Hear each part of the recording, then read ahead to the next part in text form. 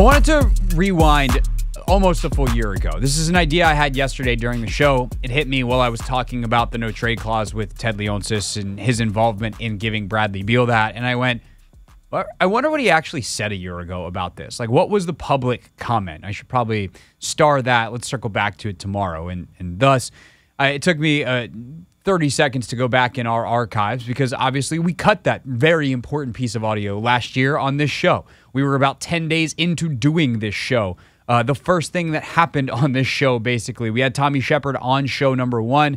Uh, I asked him, "Are you going to give Beal the contract?" And he was basically like, "Yeah." Um, and then a couple days later, they do. They officially sign him to the extension, and ultimately, uh, they they hold a press conference. I think it was on July eighth. Um, after signing him unofficially on the 30th, the moratorium ends on like the 6th. Woohoo, press conference, big celebration. Bradley Beal's going to be a wizard for life. Here we are, less than a year later. Bradley Beal is on his way to the Phoenix Suns. So, what did Leonsis say about this no trade clause? And I, I, think before I hit play on this, it is important for me to reiterate something that I have. I don't know if you want to call it reported, stated. I'll call it reported. I'll, I will. I will put that journalistic gravitas to this statement. I have reported, as have others. It's not original reporting by any stretch. That it was essentially Leonsis who gave Beal the no trade clause that it was not that for all of the mistakes that Tommy Sheppard made, some of which feel like bigger mistakes now with the benefit of hindsight uh, than they did at the time, even.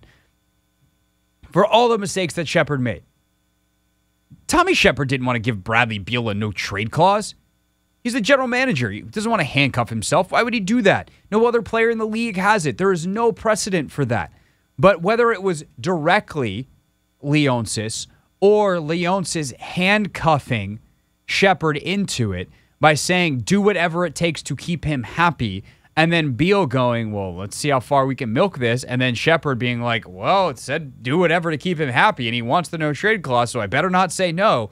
Whether it was direct or indirect, that level of detail, I do not know.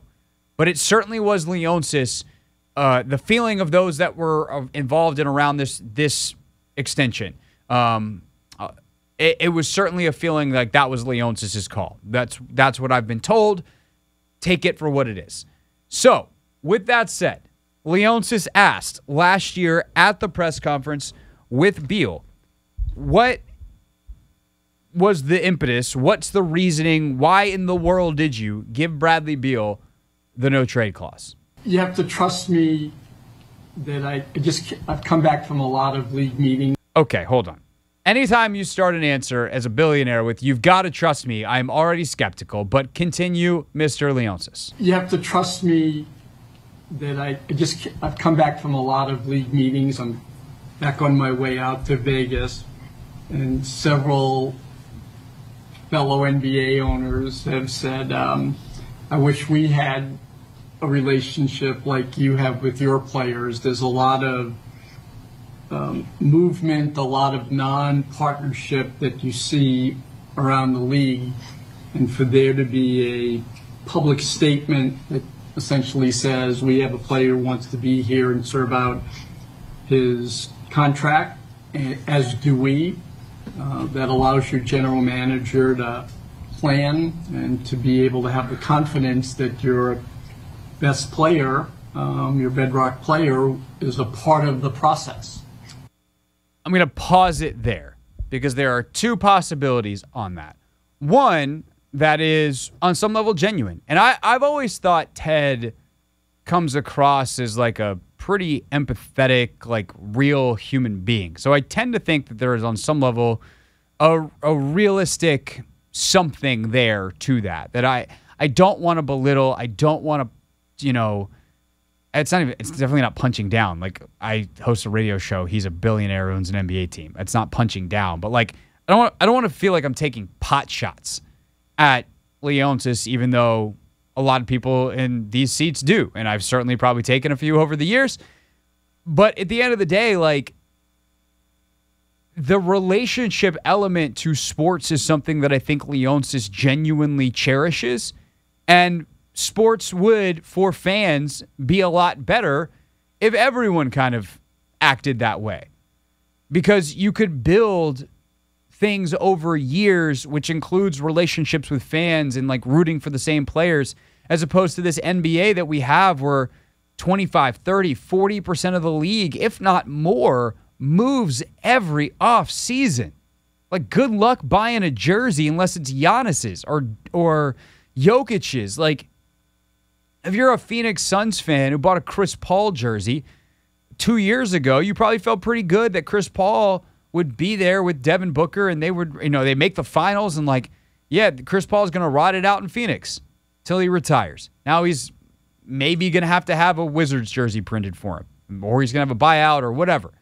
You know, if you're a Clippers fan, you might even get to use that old Chris Paul jersey that you put in the back of your closet. Like, it's crazy. There, there's a graphic going around that if uh, Paul plays here in Washington, the Westbrook, Paul, John Wall trio will have just been traded for each other to the point that they've all played for the same teams. They will have all played for, obviously, Paul will have more, um, but they will have all played for Washington, Houston, and the Clippers. All three of Paul Westbrook and Wall. It's nuts. But the idea, the other the other side of that, the more cynical take on that is that other owners think Ted Leonsis is a sucker. And they tell him, like, hey man, great job with that no trade clause. I wish we had that. And then they walk out of the room laughing. Going, man, that guy stinks at business. That guy gave up all his leverage in the name of partnership. Because here's the here's the flaw, right? Forget who thinks who is what. Let's just talk about the business. The business is you gave all of the leverage to Bradley Beal for nothing. Because he could still come to you and be like, I want out of here.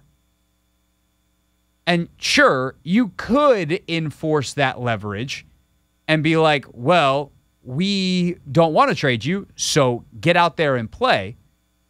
But that's not really how the league works. Star players force their way out and they get their wishes because teams would would prefer to not have disgruntled superstars that aren't going to perform at their, the high level and be poison in their locker rooms and, and all of those things. And so when Beal decides he wants out, you then can go like, okay, well, we'll trade you, but it ain't, and you can tell us where you prefer to go and we can try, but we're only going to do it if it works for us too. And in that case, even if Beal didn't necessarily, like, if he would have preferred Phoenix but would have been okay with Miami, he gives them maybe a list, and then the Wizards can at least be like, all right, hey, here's what we got. We got a deal on the table from Phoenix. That's not really on the table, though. So I know that's where you want to go, but they can't offer us enough. Miami can offer us more. It's far from your wife's family, which is something that's important to you. So if you're willing to play for the Sacramento Kings, we like their deal. We'll send you to Sacramento. You get the choice Sacramento, Miami, which one you want.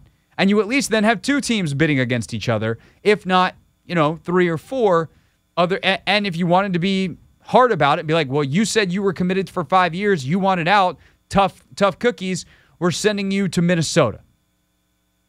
We're sending you to you know, Boston. We're sending you to wherever.